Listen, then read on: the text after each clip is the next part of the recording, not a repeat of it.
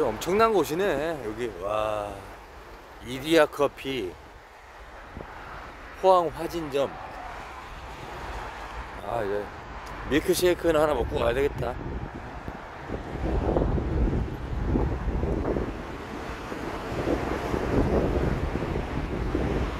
아 오늘 잘 지어놨네 아주.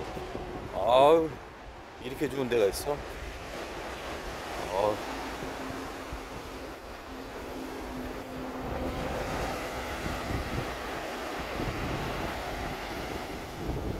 엄청나네.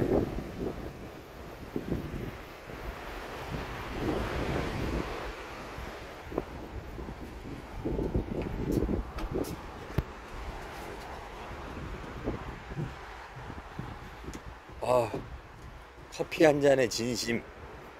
이디야.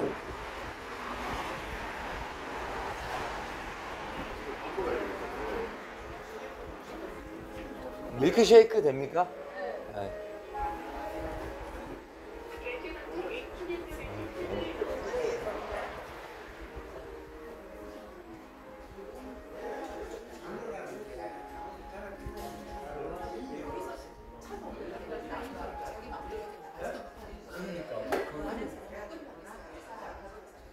지금 한국이 상하고 공공받아서 같이 도출식 도출공사 짓고 뭐 어쩌면 그런 다 지어야 되잖아요.